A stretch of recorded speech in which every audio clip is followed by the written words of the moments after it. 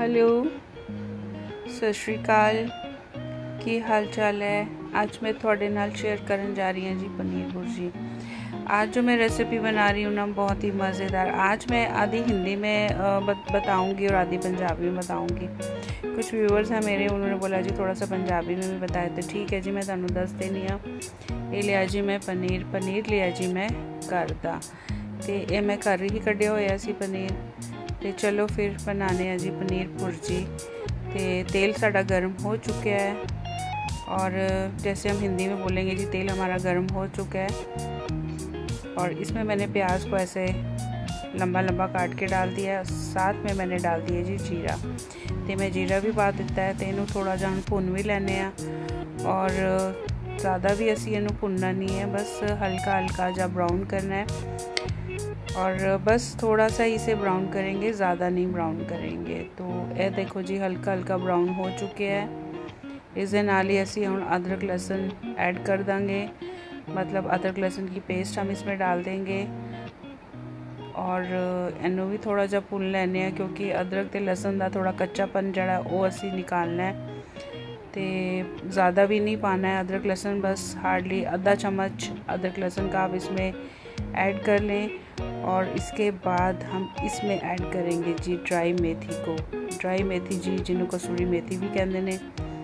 ਉਹ ਅਸੀਂ ਪਾ ਦਿੱਤੀ ਹੈ ਜੀ ਥੋੜੀ ਜੀ ਜ਼ਿਆਦਾ ਨਹੀਂ ਪਾਣੀ ਹੈ ਫਲੇਵਰ ਵਾਸਤੇ ਪਾਣੀ ਹੈ ਫਲੇਵਰ ਇਸ ਦਾ ਇਸ ਵਿੱਚ ਬਹੁਤ ਟੇਸਟੀ ਆਉਂਦਾ ਹੈ ਤੇ ਅਸੀਂ ਇਹਨੂੰ ਥੋੜਾ ਜਿਹਾ ਭੁੰਨ ਲੈਣੇ ਆ ਜ਼ਿਆਦਾ ਨਹੀਂ ਭੁੰਨਣਾ ਹੈ और मेथी भी हमने थोड़ी सी भून ली है और इसके साथ अब हम ऐड कर देंगे जी नमक को है पा दिता जी ਅਸੀਂ ਨਮਕ ਥੋੜੀ ਜੀ ਹਲਦੀ ਪਾ ਦੇਾਂਗੇ ਤੇ ਥੋੜੀ ਜੀਆਂ ਲਾਲ ਮਿਰਚਾਂ ਪਾ ਦਾਂਗੇ लाल मिर्चा भी ज़्यादा नहीं पानी ने बस थोड़ी जी पानी ने क्योंकि इस बाद जैसे हरी मिर्चा भी कट के पा देनी ने तो यह डाल दिए जी हमने इसमें मिर्ची हल्दी नमक थोड़ा सा भून लेते हैं और इसके साथ ही अब हम इसमें थोड़ा सा पानी ऐड कर देंगे क्योंकि हमारी मिर्चें जलने नहीं चाहिए तो इसके लिए हम थोड़ा सा इसमें पानी ऐड कर देंगे और ये डाल दिया जी हमने इसमें थोड़ा सा पानी। तो मैंने थोड़ा सा पानी डाल दिया। तो अब इसे हम थोड़ी देर पका लेते हैं। प्याज हमारा एकदम सॉफ्ट हो जाता है जब हम इसमें पानी डालते हैं। तो प्याज भी हो चुका है, अच्छे से ये मसाले वगैरह हो चुके हैं क्योंकि हम इसमें टमाटर बिल्कुल नहीं ऐड कर रहे हैं। और इसके साथ अब हम डाल देते हैं जी पनीर को।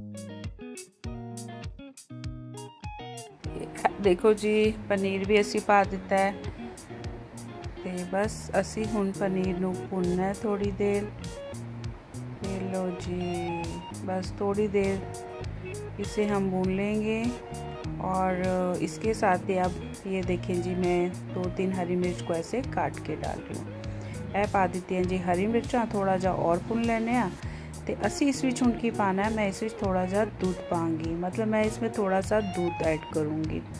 और दूध डालने से क्या होता है अगर आपके पास मलाई है तो आप वो भी ऐड कर सकते हैं बहुत ही मज़ा आ जाता है जब दूध डाल के हम पनीर की भुर्जी बनाते हैं और ये देखें जी कितनी क्रीमी क्रीमी लग रही है ना और सच में दूध डालने के बाद तो इसका टेस्ट और दुगना हो जाता है तो बस लास्ट च पाने हैं जी थोड़ा जा घ्यो का चम्मच एक तो यह साड़ी मज़ेदार tasty tasty paneer bhurji ready हो गई है जी। आप चाहे तो इसमें थोड़ा सा गरम मसाला भी ऐड कर सकते हैं चॉइस आपकी है, लेकिन मैं इसमें बस कुछ नहीं ऐड कर रही हूँ। मैंने बस इसमें थोड़ा सा जीरा ऐड किया। और ये देखो जी, हमारे मज़ेदार टेस्टी टेस्टी पनीर भुर्जी एकदम रेडी हो गई। करते हैं इसे डिश आउट आप इसे ब्रेड के साथ, पराठे के साथ पूरी के साथ, जैसे खाना चाहे आप इसे खा सकते हैं और इतनी टेस्टी ये। साथ में थोड़ा सा ले ले अचार और बस इसका जो टेस्ट है वो दुगना हो जाएगा। आप इस रेसिपी को ज़रूर ट्राई करना, मुझे कमेंट करके बताना आपको ये रेसिपी कैसी लगी है। और फिर आप भी इसे बनाए, खाएँ एंजॉय करें।